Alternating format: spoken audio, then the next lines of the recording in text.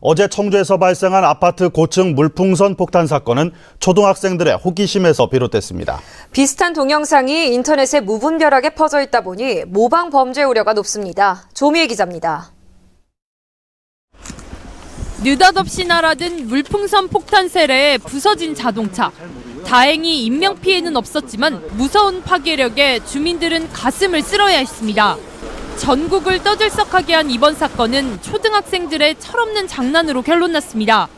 아이들은 하루 전 학교에서 한 물풍선 놀이의 재미를 느껴 생일 파티 때 쓰고 남은 풍선에 물을 넣어 던졌다고 말했습니다.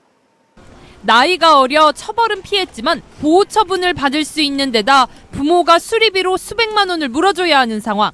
학교에서 좀 교육 좀, 좀 제대로 해야 되지 않을까. 그 다음에 어른들이 또 집에서 또 애들 또 그렇게 사고 안 치게 교육 좀 잘 시켜야 되지 않을까요? 끔찍한 사고로 이어질 수도 있었던 만큼 엄하게 책임을 물어야 한다는 의견도 있습니다. 피해자가 있으니까요. 의도 같은 걸 감안한다고 하더라도 적정 수준 내에서는 처벌을 해야 되지 않나 싶어요. 방관하는 건 아니라고 생각합니다. 인터넷에는 물풍선을 던지는 장면을 자랑하듯 찍어 올리는 동영상이 여기저기 나돌아 모방 범죄 우려가 높습니다. 이제 던져보죠.